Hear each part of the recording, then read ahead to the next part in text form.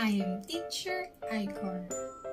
I'm so happy to be your English teacher. I am a licensed professional teacher. My background includes teaching kids and adults of all levels.